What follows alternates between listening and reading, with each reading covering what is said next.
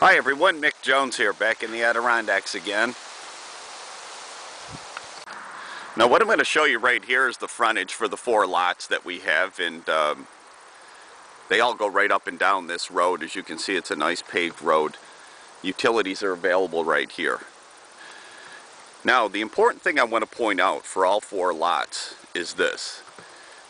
Although we're in the Adirondack Park, uh, if, if you've ever looked at uh, properties in the park and explored uh, what you need to go through to get permits to build in the park, you know there's a process involved. It's not all that bad, but it does take a little time and it does cost some money. Now what we've done here is what very few people do. We've gone through the process with the Adirondack Park Agency. Uh, you'll hear me throughout the video. I'll refer to the APA, that's the Adirondack Park Agency. And they are basically a state zoning uh, agency that oversees development in the park.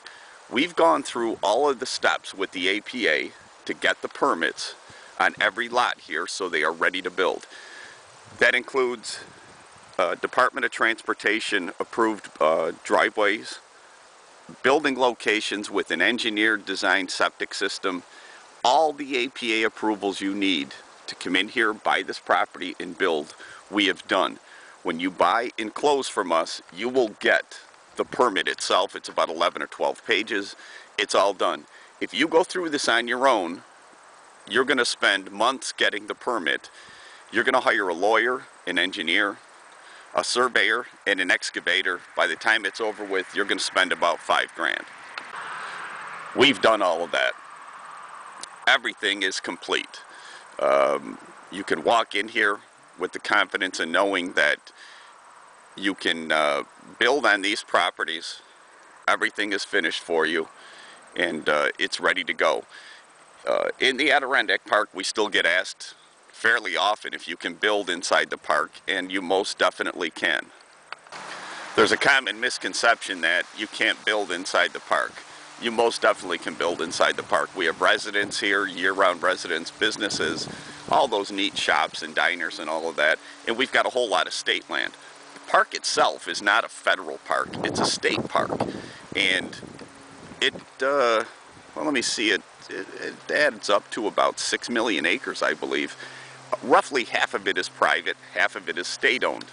And we've got uh, a good mix of, of both uh, private property, public property, which really makes this whole place unique. Uh, it's not like anywhere else in this country. It's really a neat place and that we can do everything right in, uh, in the same park. So I'm going to go down and uh, start on lot one and then I'll, uh, I'll take you through each lot.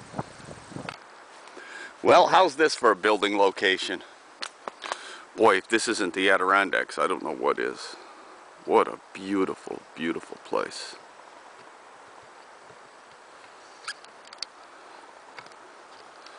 Sorry about the camera being kind of tilted. I finally got this thing on a tripod and naturally I don't know what I'm doing so bear with me. But here's your building location. Of course this is all approved. You're ready to roll right here. You can set yourself back into here. Uh, let me show you something here if I can zoom in on this. You can see the power is not that far away I don't know hopefully it's in that frame someplace but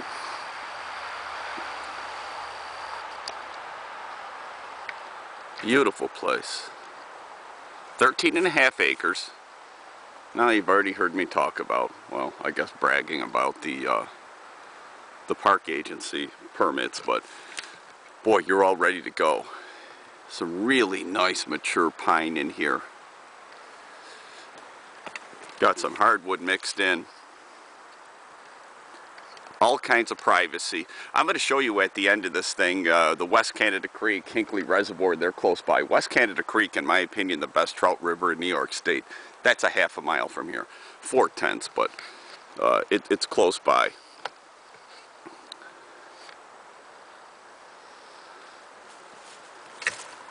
It's all ready for you right here.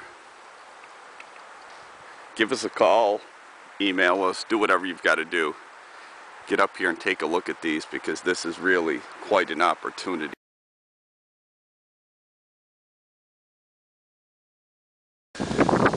Well, while I'm here, I wanted to give you a quick look at the West Canada Creek that I was talking about earlier. Boy, this is a great body of water. Great, great trout fishing for browns. This is just down the road from the property.